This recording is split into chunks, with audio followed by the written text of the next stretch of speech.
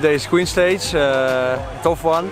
But I see on the, the, the route profile, um, I hope I have the same legs as uh, the last two days and uh, I can win again or hopefully get time back on the, for the GC. Yeah, I think today's going to be a hard stage and lots of climbing, steep climbs ahead. So yeah, just have to see how it goes.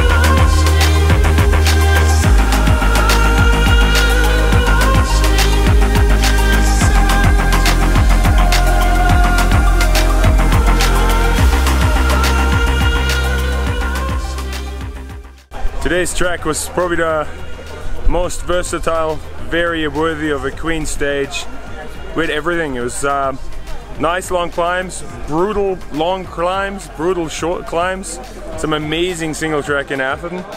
Um, yeah, seven and a half hours on a bike that takes its toll. Um, yeah, everybody's going to be tired tonight, that's for sure. But yeah, it was an, it was a brutal yet awesome stage. It was a, a very hard race today, but we did exactly 60 kilometers. Not uh, not a big stage. We did a little bit smaller. It was nice.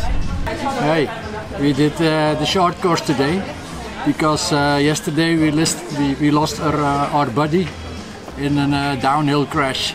Yeah, normally we were with, uh, with a four in our team and unluckily he, he, due to his crash he has a broken hip.